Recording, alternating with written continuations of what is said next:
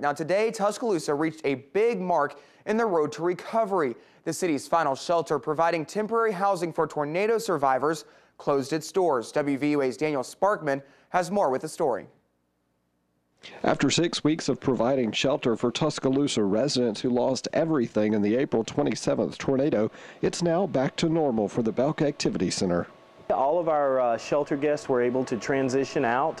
Uh, it's been a, a, long process, but certainly uh, with our partners uh, like FEMA, City of Tuscaloosa, Tuscaloosa Housing Authority, and others, uh, Salvation Army, we've been able to get it done. We're excited that today it came where we were able to see our, our residents of Tuscaloosa move on to a lot more comfortable locations, we believe. I, I think that you know, they've spent a lot of days. It's been a good group of people there, and and you know, we're just we're just glad to know that people are able, hopefully tonight, to sleep a little more comfortable in a more permanent location.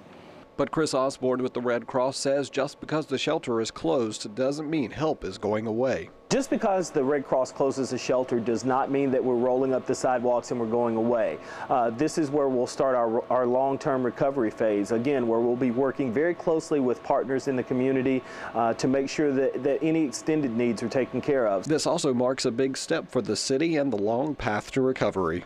It's just a, a, really exciting phase to see us going into the rebuilding process.